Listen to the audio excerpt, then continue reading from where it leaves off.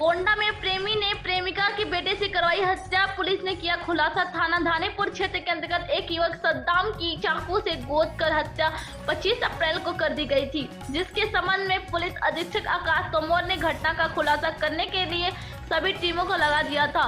सद्दाम की चाकू से गोद कर हत्या करने वाले आरोपी आयुक्त माँ बेटे गिरफ़्तार। क्षेत्रीय अधिकारी शिल्पा वर्मा ने सद्दाम हत्याकांड का किया खुलासा दिनांक 25 चार तेईस को जनपद गोंडा के थाना थानेपुर क्षेत्र के अंतर्गत ग्राम चैनवापुर में एक व्यक्ति सद्दाम की प्रेम प्रसंग में चाकू से मारकर हत्या कर देने की सूचना थानाध्यक्ष थानेपुर को प्राप्त हुई।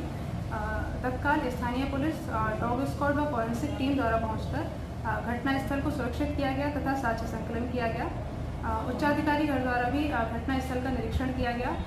घटना के सफल अनावरण हेतु पुलिस अधीक्षक महोदय के निर्देशानुसार थानाध्यक्ष थानेपुर व सर्विलांस टीम द्वारा अथक प्रयास कर वांछित अभियुक्तों चंदा पत्नी मुनब्बर तथा सनब्बर पुत्र मुनब्बर की गिरफ्तारी की गई है। आला कत्ल चाकू की भी बरामदगी की गई है। अग्रिम विधिक कार्रवाई हेतु अभियुक्त को मान्य न्यायालय